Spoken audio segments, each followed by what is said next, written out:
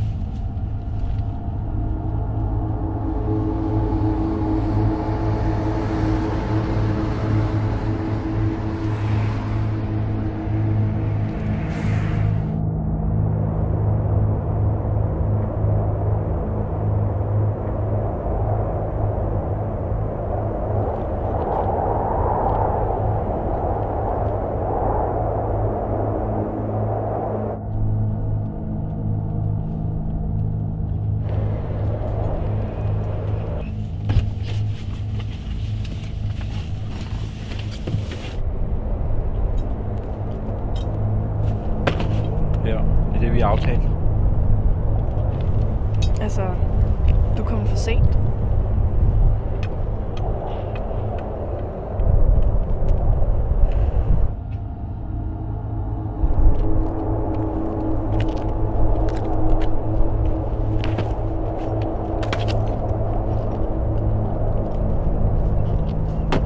Jackie, det er sidste deal.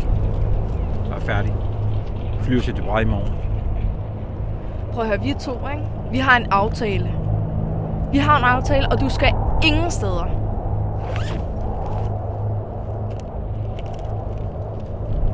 Jeg kan ikke mere.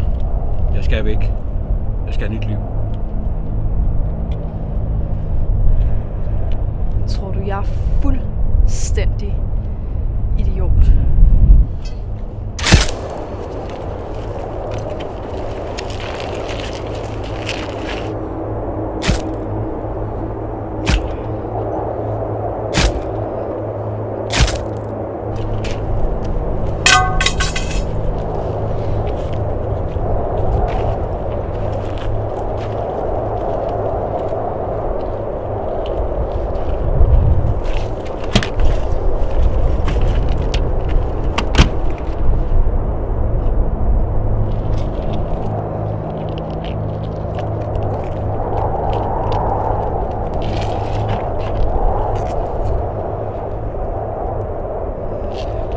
fram för helvete!